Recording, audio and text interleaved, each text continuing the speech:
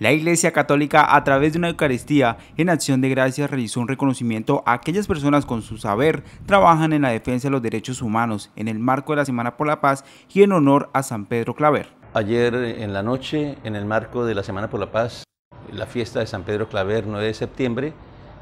en el marco de la Eucaristía conmemorativa, se hizo entrega del reconocimiento Orden San Pedro Claver a las personas, instituciones y organizaciones que trabajan por los derechos humanos, por la paz y por la reconciliación. El presbítero de la diócesis de Barranca Bermeja entregó un reconocimiento póstumo a don Jaime Peña, el peregrino de la verdad en el Magdalena Medio. Hizo entrega póstuma de este reconocimiento a don Jaime Peña, un peregrino de la verdad,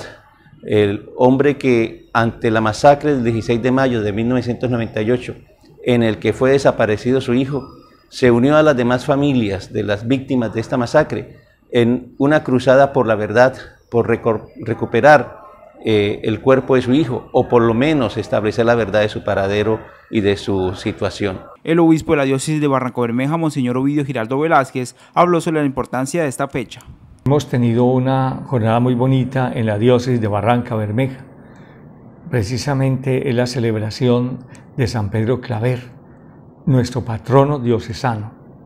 y a la vez también la celebración del Día Nacional de los Derechos Humanos, que justamente se ha creado en esta fecha la conmemoración de San Pedro Claver por ser precursor de la promoción de los derechos humanos en Colombia. En esta solemne Eucaristía hizo presencia diferentes actores sociales, al igual que los feligreses, en pro de reconocer su labor en esta ciudad.